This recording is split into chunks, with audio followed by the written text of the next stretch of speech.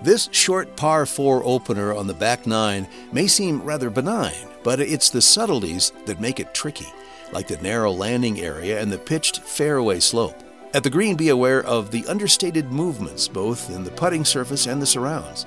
Two deep bunkers are constant reminders to either stay away to the right side or have absolute precision with approach shot length.